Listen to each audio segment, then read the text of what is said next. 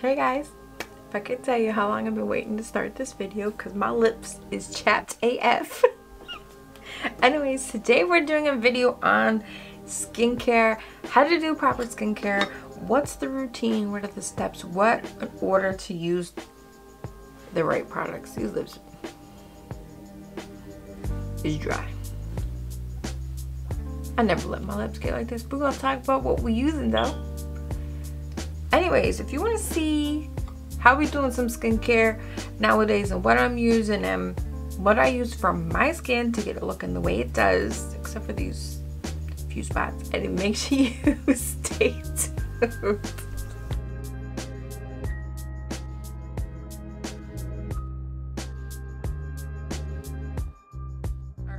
so as I was telling y'all, my lips is chapped. This is right where they meet. It's got a real harsh chapped line. My favorite thing to use on my lips is my Vaseline lip therapy. Come on. Vaseline lip therapy. It's actually Vaseline gel. This is the aloe one. They have one in rose, coconut oil, coconut oil. Yeah, but coconut too for your lips. They smell amazing. They absorb really well. They don't leave your lips like greasy. That they're so good. Anyways, but that's what I use for my lips. So one of the first things I do with skincare is I always go straight for my lips. Keeping your lips hydrated is so important. The the lip products we're using nowadays. Everything is like super matte, super drying. Um, most people don't like the shine, all that kind of stuff. Um, because if you're not buying stuff that's got the good vitamins for your lips, guess what? They get dry. The cold weather in New England is just sucking all the good hydration out of your skin, out of your lips in particular. I know a lot of people aren't carrying the proper stuff. If you're getting that dollar chip chapstick, the dollar chapstick, I don't want to hear nothing about, oh, you know, I put some chapstick on my lips, still dry. Well, of course they are you can't use that. It's like just putting a wax on your lips. It might protect them from the air, but I ain't doing for anything for these little smoochers. You gotta put something that's gonna suck in and protect it and give it something it needs. Aloe is a hydrating agent. Aloe. So if you're getting anything for your skin, aloe for your lips, for your face, your under eye area, all that good stuff. Anyways, so first what we're gonna go in and do is we're gonna tone our skin. We're going in with a Pixi's a Glow Tonic. Y'all know I got the mother load on the Glow Tonic. Y'all know how Pixi gives it up. And you know how good this stuff is. So we're just going to put this in a little camera. And we are going to rub it all over your face. Now, a lot of people think toner is an essential. So I'm gonna I'm gonna ask you this. Do you think toning your skin is something you have to do? Go ahead. Is it an essential? Do you have to do this part? Um, and I'm to tell you right now, no, you do not have to do this part. If you're able to do this part with your skin, sure, please do it. It's great for your skin, absolutely. Going to tone your pores, tighten them up a little bit. It's going to help give your skin the extra glow. Clean it up a little bit, you know. But if you have dry skin, toning it can pull some of that hydration out for you if you're not doing it right. There's so many different toners nowadays. If you find a hydrating toner, please be my guest and use the hydrating one If you have dry skin in any way, shape, or form, toning can pull out some of that stuff, some of the, the vitamins that you needed. So, if your skin is dry all year round, I don't care what season it is and where you live, if it is dry all the time, skip that toner until you get your skin on point. Until it is dry, it is supple, you don't have flakes, you don't have red spots, you need to skip that toner. It is not important your hydration on your skin is important. You're trying not to have those flakes. But you can see already using this toner, we've got a good glow. Skin's evening out a little bit. But this is what I love about this stuff. Great. Great. And they've got these in so many different forms now too. So any of the Pixi um, tonics, only the, the skin treats for the toners, glow tonics, they have milk tonics, retinol. Check them out. But this one I love. Love, love. So the next step I love to do for my skin is I like to go in with a water-based moisturizer. Now a lot of people are like, hmm, water-based, that doesn't sound like it does a whole lot. And it doesn't do as much as uh, a serum or one of those moisturizers, the white ones or a gel-based one. But what I think it does is it kind of wakes up your skin and goes, hey, we prepping you for some stuff coming in. Let's wake you up and get you a little lively. So today we're to go in with the new Derma E Blue Shield Protecting one. This one is called the Blue Light Shield Spray. It's got blue green algae, um, activated charcoal, and ginseng root extract. Now I've been using these. You can use this as like a setting spray as well. Um, what the blue blue light shield spray does and it helps protect your face from all the screen time that we're getting and how many screens are we around every day we've got our phones we've got our tablets we have our ipads we have ds's we have ps on the go we have switches we have tvs it's everywhere we have our computers laptops you name it we are all doing it all more than half the day between work, kids, home, school. It's just there. Going to the bar, going out to dinner. I mean, TVs are in the bathrooms nowadays. You can't get away from it. If you go to the bathroom without your phone, you just, you feel weird. So, this is going to protect you from all that stuff because um, that the blue light is aging us, is what it's doing. So, this is going to protect us. So, you can use this before you do your makeup or you can use it after. I in particular find that I love using this before.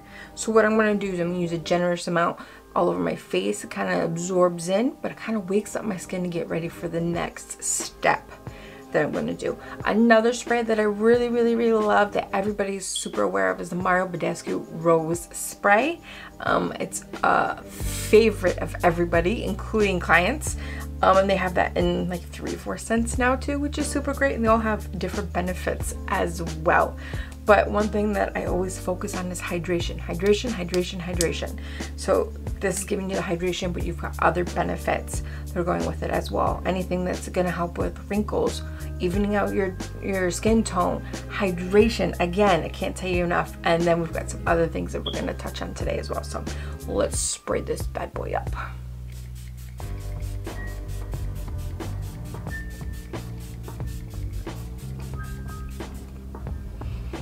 Like I said, I do a generous amount. This is a very fine mist, but it doesn't spray very far, so I do it very close to my face so that I can feel it.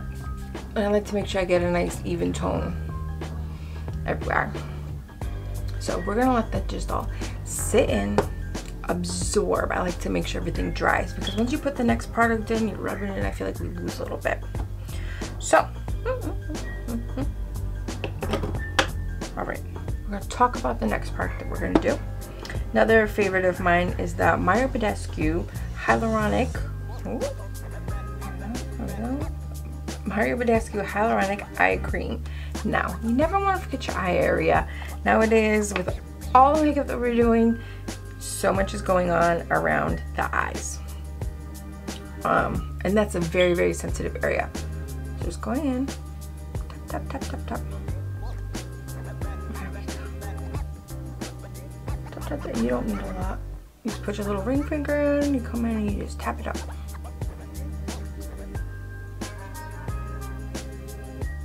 Really gentle on the skin.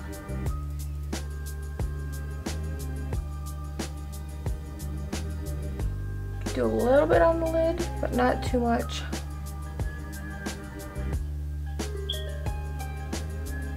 You gotta make sure you get under those eyes really well. I don't like to have too much too extra either. So I'll go in with a nice clean finger. Make sure it gets absorbed really well. I like to go along my nose. I've noticed along sides of my nose, I get these little bumps, and that's from it being dehydrated. There we go. Oh, yes, girl. Mm. She's looking good. We're getting there. I know my face needs all the extra love today. It's taking me a lot longer to get to this skin video. My skin has needed all morning. I'm sitting there going, oh, my face, my face, my face. all right, so we're, not, we're ready to get to our next serum now that our spray is dried. Um, and what we're gonna use is the Derma E Vitamin C Serum. It's a concentrated serum. Now, one of the things that I love about vitamin C that really, really helped my face, and it's something that I like to keep in my routine somewhere. If I use it in a toner, if I use it in a serum, if I use it in a lotion, if I use it in a night routine is vitamin C really brought down all the texture in my skin. I used to have bumps everywhere and there are minimal bumps that you didn't see unless I put on my makeup and then you saw it in my close-up photos. Um, but it was something that I hated. But it also helped bring some of my acne down um, and stuff like that. And now my skin, it's it's a world of difference. And when vitamin C used to started to take off in the skincare world, um, Shiro Science had reached out to me and they had this dope serum and I just doused my skin in it and wasn't something, it depended on the form of it. You get it in serums, you can get it um, in silicones, you can get it in drops. So it depends on the form that comes in and I was able to put it in my morning and night routine but be careful with vitamin C. You can't be out in the sun with it too much. So that's another thing.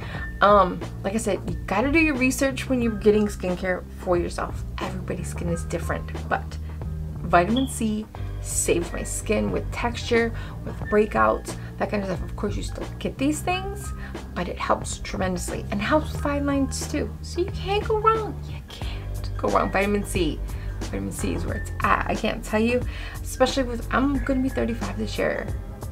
35. So anybody who's a little bit older in the game doing their thing, 35. Vitamin C, vitamin C, I'm telling you. So we're gonna do a couple little squirts. Oh, y'all see that go? You seen it fly?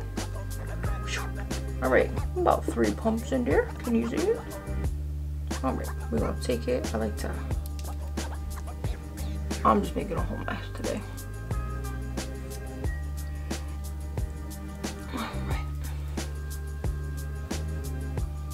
And always bring it down your neck.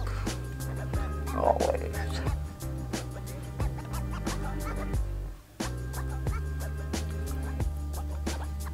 Again, be careful around the eyes. This stuff can be very potent. It all depends on the percentage in it. Some products will tell you the percentage of vitamin C in it and some don't. Um, I've had some that are up to 30% and that stuff will make your face tingle in an almost uncomfortable manner. Like you go, oh, it's working. I like to know it's working, but you kind of go, ooh, ooh, okay, girl. Makes you kind of itchy. but it did its job and it did it well. So I wasn't mad. was not mad. So there we go. As you can see, we're starting to get that nice little dewy glow to our skin. It's nice and supple. You know what I'm saying? All right. Let me get a mess. All right. So I want you to notice the order we're doing everything in. Depending on the type of skincare we're doing depends on the order you do it in. Um, Water-based always goes first just because it's water. Anything can kind of be layered up with that to make it easier. Um, next I like to do my eye area just because it's sensitive. Um, and it doesn't need a whole lot so layering that generally is okay as well. Next I'd like to do the serum. Um, serum serums usually mix really well with just about anything. Some of them will have a little bit of a problem and you'll notice that once you go layer on your lotion because it'll kind of do this like pilly thing on your face. I've had a few that do that so if you see that do that it's just not mixing well with the lotion you have after. It could be the product before that. So just keep an eye on that when you're introducing products but you always introduce one product at a time when you're doing routines. When you start to introduce multiple products and they're not working, you don't know where it's gonna, the problem's gonna be. But also if you have a reaction, say you're allergic, or it could be a chemical reaction between the products, that's a problem. So you always introduce one product at a time and I'd say give it about two weeks in between both. One to see results and two to make sure everything's working okay. Um, because I know I have sensitive skin. Like I can't use benzoyl peroxide. I am highly allergic to it. I can use it um, and within an hour or two, I am swelled up and red like a tomato. So benzoyl peroxide is a no, no, no. And it's one of the best things to use for acne and well, I can't use it. so just what it is. So let's move on to our next product um, because after serums, we can do lotions or, or moisturizers. And what's nice about the moisturizer is the moisturizer is creating this barrier that's going to seal everything off and keep everything in that we've put in. Now, say if you use an oil, if you go use an oil now and then just try to go put that moisturizer in, guess what? Nothing is penetrating that oil. So you're wasting your product um, and, and the oil's there and the oil's everywhere and you really have to be careful with using oils because they're just you don't need a lot and some people overuse and it creates an issue. So there's a way to do this. You want to do water-based eyes serum moisturizer which means it's like a white lotion or gel. And then you want to do your oils. Generally I leave oils for night just because they can be so heavy and you look like a crystal ball sometimes if you use a little too much on accident. Let's just keep it real. So now we're going in with Derma E Skin Restore Advanced Peptides and Collagen Moisturizer. So, collagen. You know what we're after. Gotta keep this face looking young, baby, young. So I'm just going with this a little bit because this is another one that can be a little on the heavy side. But also, don't ever forget your neck area. Don't, don't, don't. Our neck is always hanging out in the weather too. Are you always wearing turtlenecks? No. Does your coat always zip up to your chin? No. Do we always wear a scarf? No, girlfriend, we not. So, we're gonna sit here and we're gonna do this. We're gonna do this.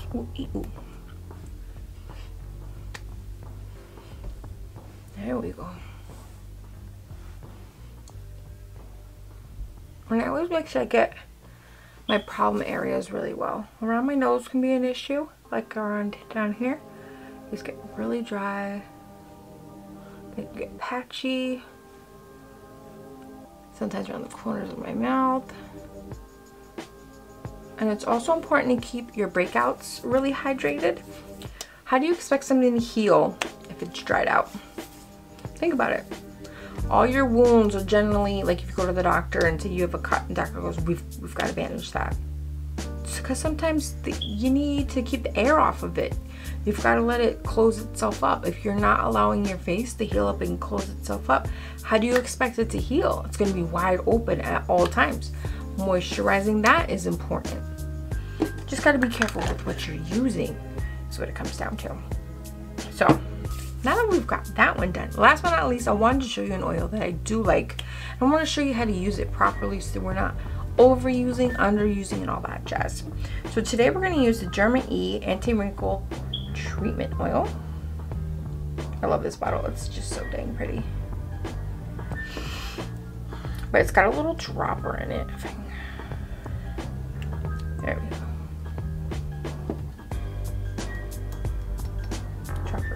One, two, three. No more than three. I like to rub it between my hands and all you can see is it's shiny. And we just pop. Oh, it smells good too. It smells herby. And I just pat. I mean, we can wipe it around after, but we only do three drops.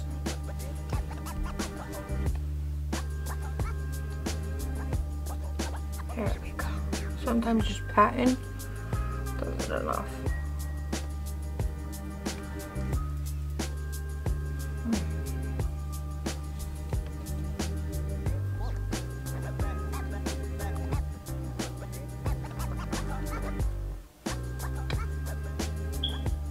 So that is like really when I do a big, big routine. I don't do the oil day in and day out, like first thing in the morning. I'll do oils at night when I feel like I need it. But oils can definitely be a game changer. Do not sleep on facial oils at all. I love them, especially a good rose hip oil. Let me tell you, that is a healer um, for your skin when you need it, especially in the winter. So keep that in mind. So let's go over what we talked about today. Um, Toner is not always needed. You can skip that step if you need to. It can dry you out.